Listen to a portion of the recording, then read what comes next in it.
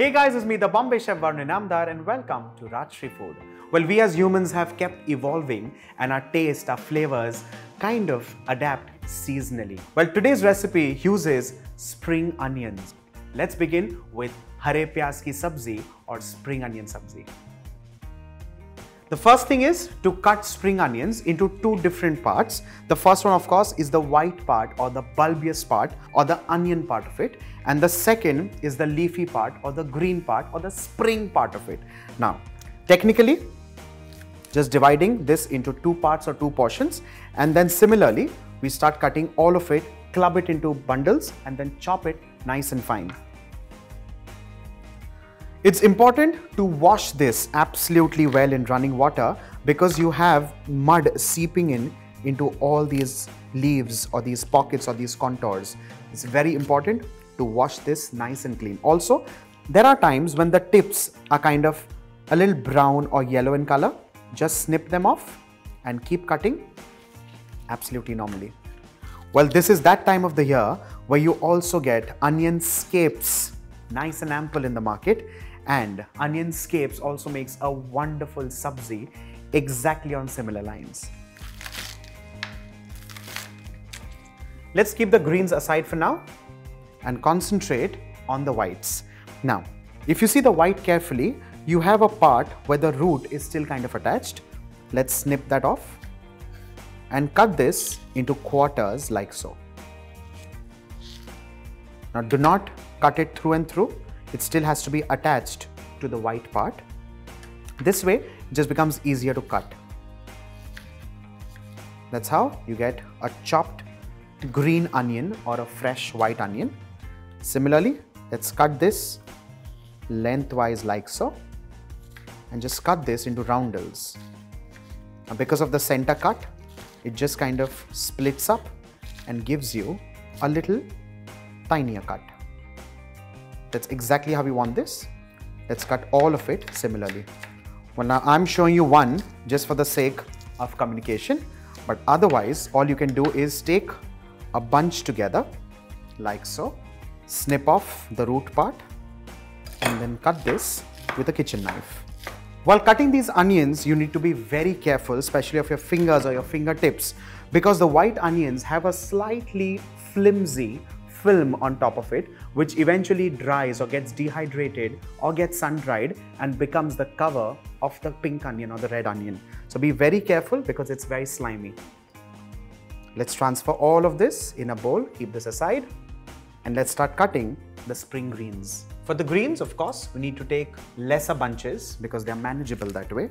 And cut these well similarly. With this, our spring greens are cut and ready. Let's keep these also aside and let's move on to making the vegetable. Let's begin with heating oil in a kadai. Less or more is completely personal. Well, generally as a thumb rule, any recipe that uses besan or gram flour uses slightly more oil than usual. Well, this recipe also has gram flour, untoasted, we're actually going to toast it while cooking or while making the recipe. The oil is heated up. Let's begin with black mustard. Once these begin to splutter, we'll add in cumin seeds and immediately crushed ginger, garlic and green chilies. Well, green chilies as per the spice that you or your family prefer. I like this sabzi personally, a mix of sweet, spicy and sour. Sweet of course with sugar or jaggery, sour with uh, lemons and for the chili or for the heat, I use green chilies and just a touch of red chili powder. Once the raw flavor of the ginger, garlic and chilies kind of goes away, I'm going to add in gram flour.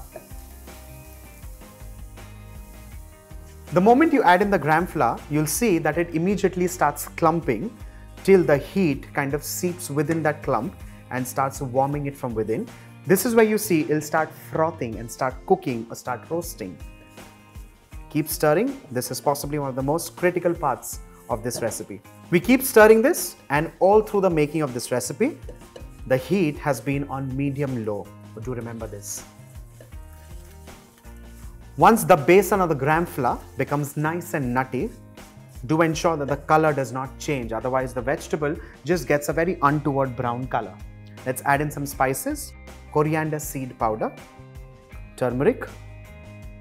Let's mix this well. Well, dhania powder or coriander seed powder in a lot of Indian recipes is also used as a thickening agent. This is something that a lot of people are not aware of. Let's add in red chili powder and stir this well. Time to add in the chopped onion whites and saute this for 3 minutes on medium flame. This part of the spring onion needs to be cooked thoroughly unless you're the ones like me who likes that little bite in a sabzi while eating. After stirring all this well, ensuring that of course the onions are also well cooked, I'm going to add in some hot water. Well, this of course is for the consistency and also while cooking you'll realize that the gram flour starts getting cooked and then also eventually starts thickening this entire sabzi wonderfully. And of course you also have coriander seeds like I said to just add in to that beautiful luscious consistency. Let's stir this well. We lower the flame and add in the spring greens. Remember the fact that I've not added salt earlier for a simple reason because all of this is going to actually reduce in its quantity. You know, as a matter of fact, as a thumb rule, you can follow this as a principle for every recipe that uses any form of green vegetable. Let's mix this well. To this, let's add in salt, like I said, with extreme caution. With the addition of salt, like I said earlier, this recipe ends for a lot of you. But if you heard me right earlier, I said I like this recipe not just spicy, but also a touch of sweet and a touch of souring. And for that, I'm going to add in lemon juice and salt at this stage. But if you're the ones who does not like it sour and sweet, that's the end of the recipe for you. Just ensure that the onions or the greens are well cooked. Let's squeeze in lemon at this stage, ensuring that you collect all the seeds. And finally, last but not the least, sugar.